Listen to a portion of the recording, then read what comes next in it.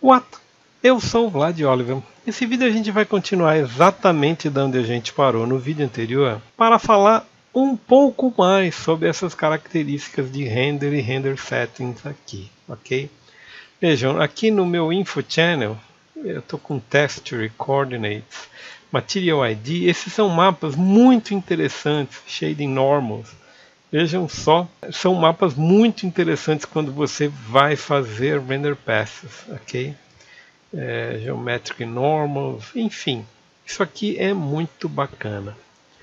Mas eu estava no Direct Lighting, né, neste logo abaixo aqui, e falei inclusive do GI Diffuse, GI Non, etc, etc. Vamos explicar um pouco mais essas condições aqui acho que o ideal seria dar um Store Render Buffer aqui, fazer um compare entre o GI Non e o GI Ambient Occlusion. O que são esses dois vídeos e o que, que eles trazem, um diferente do outro? Basicamente aqui, especialmente quando você tem Octane Daylight, você precisa ter, você acaba tendo sombras duras. Elas só não são mais duras aqui porque eu estou com vamos melhorar um pouco a performance aqui para tentar melhorar um pouco o acabamento. Vejam que melhora bastante aqui.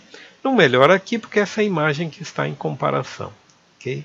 Mas basicamente o que vocês podem ver é que o ambiente occlusion significa você ter o cálculo de ambiente occlusion e atenuar um pouco as sombras. Ou seja, existe um cálculo de, vou falar um termo velho, radiosidade aqui. O que significa isso? Significa que você tem não tem só a incidência da luz direta, mas você tem uma luz rebatida aqui que faz com que é, essa sombra seja um pouco atenuada em função do rebatimento dessa luz, ok?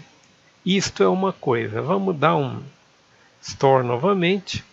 Vamos sair daqui, vamos vir ao diffuse. O que faz o diffuse? O diffuse, veja, essa explicação não foi bem dada, mas vou dizer que o diffuse tem esse esta característica de iluminação, ok, da superfície. Tem uma luz, uma luz residual dos objetos que geram luz ou que geram uma refração de luz uns nos outros e isso causa uma reiluminação do meu objeto, ok?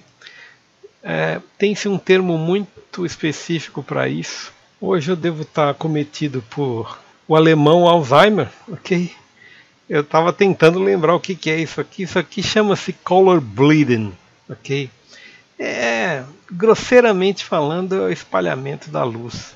E por isso que ele leva o nome de DI diffuse. Vejam, tudo isso aqui diz respeito apenas ao direct lighting. Aí, é, do vídeo anterior, algumas pessoas me perguntaram, mas quando que é path tracing, quando que é progressive Monte Carlo, etc, etc.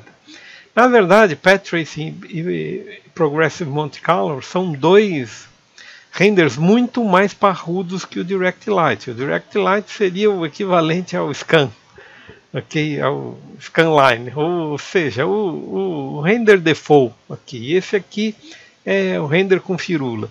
O render com firula significa que no Path Tracing eu já expliquei a vocês que quando a gente tiver Path Tracing a gente vai ter um cálculo interno de superfícies aqui de refração, ok?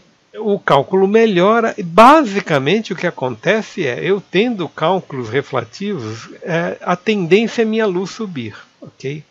Porque ah, existe uma duração maior da luz aqui, uma incidência maior da luz, quando ela se torna uma luz indireta. E o path tracing significa que você está fazendo o cálculo da luz indireta é, somado ao ambiente occlusion, etc, etc, coisas que já fazem o espalhamento da luz. Você está fazendo um cálculo mais preciso.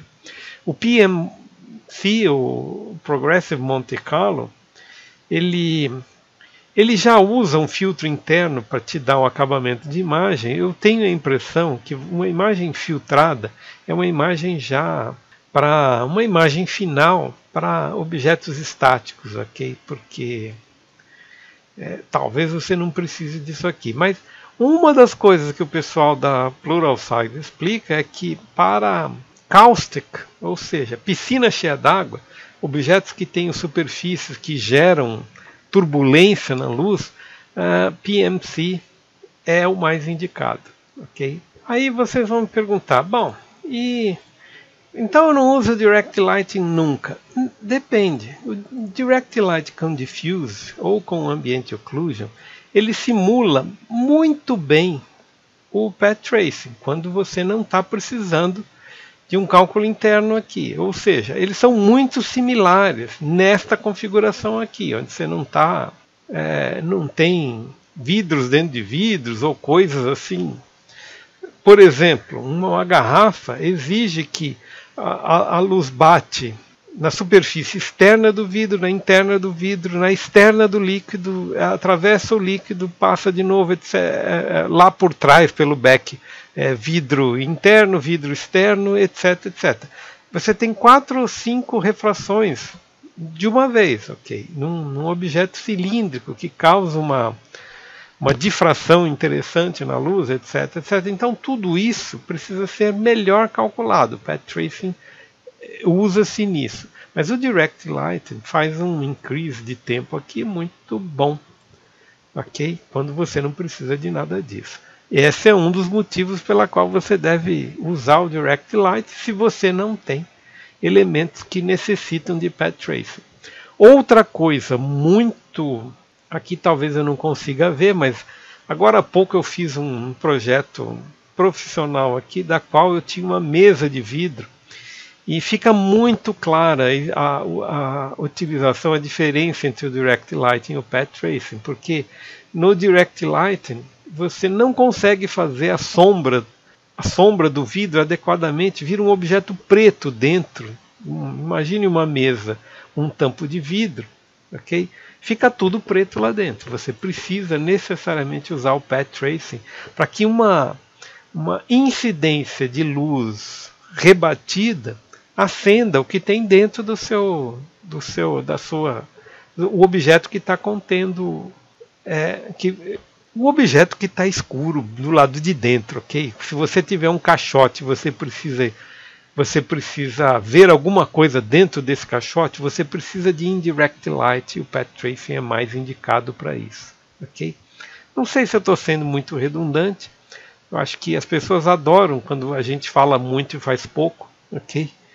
Mas é necessário uma conceituação mais precisa do que do que esses renders fazem. Eu vou dizer uma coisa para vocês eu consegui entender muito melhor o render do 3ds Max depois que eu aprendi as, as setagens de render do Octane, porque ele me mostra de maneira fácil uma coisa que era quase impossível de entender na montanha de recursos que o, os renders é, Mental Ray ou V-Ray têm e eles não são muito claros, eles não, eles não têm muita ligação entre si, então você precisa mexer tudo aqui tal, não sei o que. O Octane ele já tem uma setagem default, uma setagem inicial muito boa, e você só precisa fazer pequenas alterações de ajuste, pequenos, pequenas conformações aqui que melhoram o teu processo. Isto é muito bacana. As duas últimas coisas que eu queria dizer para vocês aqui, vejam, eu vou tirar o enable aqui é, são coisas muito óbvias, mas de qualquer forma, veja, eu vou ver aqui no Direct Lighting, eu estou no GI Diffuse, vou deixar no GI Diffuse, ou GI Diffuse mesmo. Uma das coisas óbvias, aqui a gente tem uma série, uma série grande de variáveis que podem ser setadas.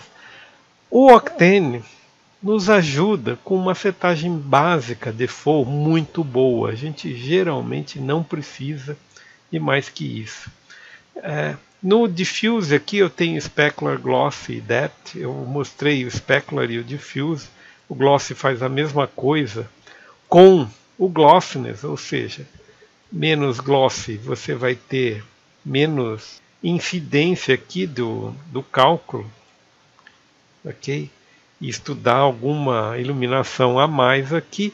E uma coisa óbvia, se eu venho aqui e tiro Max Samples aqui, apesar da imagem ficar uma droga, ela é uma imagem extremamente rápida de renderizar. ok? E você vai conforme você, opa, conforme você vai melhorando aqui o teu, opa, quando ele vem, né? Veja, você vai melhorando a sua qualidade, ok? Vai melhorando o número de samples aqui. Se você passa para 5 mil samples, você consegue ver a qualidade com que a sua imagem vai assumindo. Vejam, detalhes que até então eu não vi, eu começo a ver. Enfim, você precisa se familiarizar com o tipo. Veja, eu estou ainda em 1400 samples e já estou vendo o que eu preciso ver da minha imagem. Eu não precisaria mais de um render de saída que isso aqui. 5000 já é redundante. ok? 2000 aqui fariam perfeita, 200 não. 2000 aqui fariam perfeitamente o papel de render de saída aqui. Vejam, 32. Muito bem. Por enquanto é isso aí. Nos vemos no próximo vídeo com a continuidade destas referências de setagem.